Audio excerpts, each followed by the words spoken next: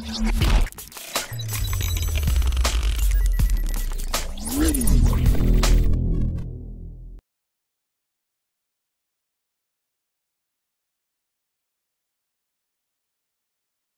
Friends sports பத்தின செய்திகளை உடனுக்குடனா தெரிஞ்சுக்கொள்ள நம்ம தமிழ் கிரிக்கெட் சேனலை சப்ஸ்கிரைப் பண்ணுங்க. இந்த இரண்டாயிரத்தி பத்தொன்பதாம் ஆண்டில் இங்கிலாந்தில் நடக்கும் உலகக்கோப்பையில இந்திய அணியோட பலவீனம் எது அப்படின்னு பாகிஸ்தான் அணிக்கு அந்த அணியின் முன்னாள் வீரரான வக்கார் யூனிஸ் அறிவுரை கொடுத்திருக்காங்க. அது பத்தின முழுமையான விவரத்தை பார்ப்போம். இந்த உலகக்கோப்பையில இந்தியா மற்றும் இங்கிலாந்து இந்த இரண்டு அணிகள் தான் வலுவான அணி. இவைகளே கோப்பைகளை வெல்லும் அப்படின்னு பல முன்னாள் வீரர்கள் மற்றும் கிரிக்கெட் வல்லுநர்கள் எல்லாருமே கருத்து தெரிவிச்சு வந்துட்டு இருக்காங்க இந்த சமயத்துல இந்த உலகக்கோப்பையில பாகிஸ்தான் அணி கிட்ட இங்கிலாந்து அணி வீழ்ந்துருச்சு. ஆனா இந்திய அணி பாத்தீங்கன்னா தென்னாப்பிரிக்கா மற்றும் ஆஸ்திரேலியா அப்படின்னு இரண்டு வலுவான அணிகளை வீழ்த்து ரொம்பவே ஒரு கம்பீரமா இருக்காங்க. துரதிருஷ்டவசமா இந்திய அணியின் துவக்க வீரரான ஷிகர் தவான் தன்னுடைய இடது கை கட்டை ஏற்பட்ட காயம் காரணத்தினால இந்த உலகக்கோப்பை தொடர்ல இரண்டு வாரங்கள் ஓய்வுல இருக்க போறார் அப்படின்னு இந்திய அணி கிரிக்கெட் நிர்வாகம் அறிவிச்சிட்டாங்க. இது வந்து இந்த உலகக்கோப்பை தொடர்ல இந்திய கிரிக்கெட் அணிக்கு பெரிய பின்னடைவை ஏற்படுத்திருக்கு பொதுவாகவே ஐசிசி கிரிக்கெட் டோர்னமெண்ட்ல தவான் ஒரு சிறப்பான வீரர். இது வரைக்கும் ஆறு சதங்கள் அடிச்சிருக்காரு. அப்படிப்பட்ட ஒரு வீரர் காயத்தின் காரணத்தினால தொடர்ல விளையாடாம இருக்கிறது இந்திய அணிக்கு ஒரு பெரிய பின்னடைவை ஏற்படுத்தியிருக்கு. தற்போது இந்த ஞாயிற்றுக்கிழமை பாத்தீங்கன்னா உலகமே எதிர்பார்த்து கொண்டிருக்கும் இந்தியா மற்றும் பாகிஸ்தான் இந்த இரண்டு அணிகளும் வந்து மோத போறாங்க.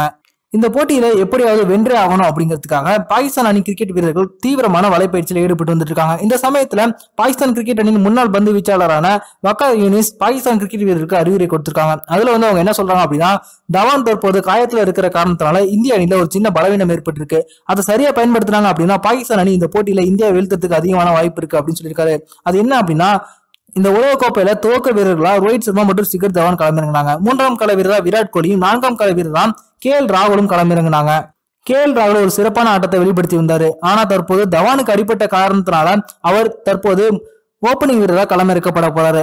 அதனால நான்காம் கால வீரரா ஆல்ரவுண்டரான விஜய் சங்கர் தான் களமிறங்க போறாரு. இத கடந்த போட்டிக்கு முன்பு பாத்தீங்க அப்படின்னா விராட் கோலி செய்தியாளர்களை சந்திச்சு பேசும்போது நான்காம் காலத்துல ஆல்ரவுண்டர் வீரர் ஒருவர் களமிறங்குவார் அப்படின்னு சொல்லியிருந்தாரு. அதுல இருந்த விஜய் சங்கர் தான் அப்படிங்கிறது அது கிட்டத்தட்ட உறுதியாகிடுச்சு. விஜய் சங்கரை பொறுத்த வரைக்கும் ரொம்ப ஒரு இளமையான வீரர் அனுபவமற்ற வீரர். அவருக்கு உலகக்கோப்பை போன்ற பெரிய தொடர்கள்ல விளையாடிய அனுபவம் இருக்காது. நிச்சயமா நான்காம் கால வீரராக களமிறங்குற விஜய் சங்கருக்கு அதிகமான பதற்றம் இருக்கும். ஒரு அணில நான்காம் கால வீரரோட இடம் வந்து ரொம்பவே முக்கியமானது. அணி சரிவில் இருக்கும்போது அதை நான்காம் கால வீரரால தான் மீட்க முடியும். அந்த இடத்துல விஜய் சங்கர் விளையாடுற காரணத்தினால அவர் ரொம்பவே பதட்டமா இருப்பாரு. அதனால இந்திய கிரிக்கெட் அணியில விராட் கோலி ரோஹித் சர்மா இவங்களோட விக்கெட்டை விரைவிலே கழிட்டாங்க அப்படின்னா நான்காம் கால வீரரான விஜய் சங்கர் ஈஸியா ஆட்டம் இழக்க செய்திடலாம் இந்தியாவோட இந்த பலவீனத்தை பாகிஸ்தான் அணி பயன்படுத்தி கொண்டாங்க அப்படின்னா கண்டிப்பா இந்தியா வீழ்த்துறதுக்கு அதிகமான வாய்ப்பு இருக்கு அப்படின்னு பக்கார யூனிஸ் பாகிஸ்தான் அணி வீரர்களுக்கு அறிவுரை கொடுத்திருக்காங்க. இருந்தாலும் இந்திய அணி பாகிஸ்தான் அணியை எப்படி வீழ்த்த போறாங்க அப்படிங்கிறத நம்ம பொறுத்திருந்து பார்ப்போம். இந்த வீடியோ உங்களுக்கு பிடிச்சிருந்துச்சுன்னா லைக் பண்ணுங்க ஷேர் பண்ணுங்க. நன்றி.